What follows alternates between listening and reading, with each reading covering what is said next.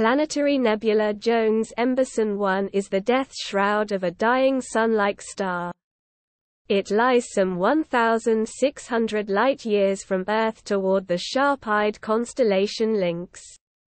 Visible near the center of the planetary nebula is what remains of the stellar core, a blue hot white dwarf star. Also known as PK 16431. 1. The nebula is faint and very difficult to glimpse at a telescope's eyepiece.